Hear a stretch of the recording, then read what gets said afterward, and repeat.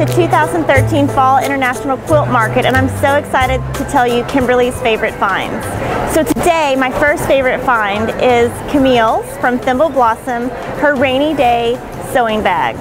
And in the pattern cute, it has two bags and one pin cushion. So you get a lot of value for your money and it uses her new April Showers collection and it's just so cute. And this is another favorite find by Cotton Way. It's called Mayflowers. And don't you just love how the dots and applique bring the flowers to life? Remember, April showers bring May flowers. This is another favorite find. This is Storybook by and Birdie, and this collection works great for kids of any ages, and I just love, love, love the colors in the quilt. So another one of my favorite finds is V&Co's new handmade pattern.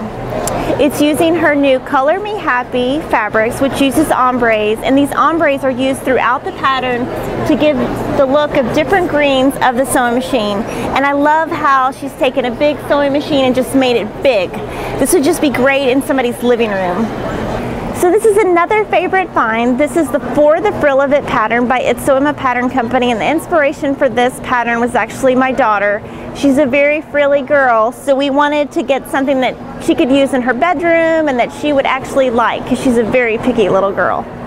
Now we're in Joanna Figueroa's booth of Fig Tree Quilts and we just love her new carousel pattern. I love the interlocking circles and how simple it is and how it uses a lot of background and just really showcases the circles. So this is another one of my favorite finds. Hi, this is another favorite find. It's Glitz by Michael Miller Fabrics and I love the, the light metallic which is actually on a lot of the collections we've seen at market. It's definitely a trend. And what I like about it is my daughter's a girly girl and I can really see her wearing something like this. And this collection also works well for birthdays, weddings, anniversaries, and decor for the home, so I can see a lot of uses with it. And now we're in the blend booth with Anna Griffin, and she's going to tell you why I love the Sugar Rush collection so much. Uh, well, it's, jo it's Josephine Kimberling's newest collection, and it's all about making gingerbread houses, spearmint, peppermint, cocoa, everything in fabric. And now we're in the Quilting Treasures booth. This Christmas classic is now on fabric. So as you can tell, I must love Christmas. And I love this Henry Glass Believe collection because it has vintage Santas and there's nothing funner than buying vintage Santas for the store. So now we're at the Marcus Brothers booth and they have the new Mastering Miniatures collection and I love precision piecing. I love to make small pieces. It's one of my favorite things to do. So this is quite a challenge and I just love this quilt. Now we're in the Ann Kelle booth and I love her novelty prints and when we saw this a few weeks ago I just about died because when I was in fifth grade I got an award for talking too much.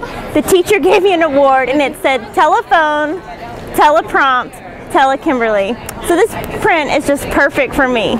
And now we're in Gerri Robinson's booth of Planted Seed Designs and her new collection is called Favorite Things and it's using classic blue and classic tans. So what we want to know is did favorite things come first or favorite finds? Let's fly away with Riley Blake's new collection that features planes and boats and they're perfect for little boys.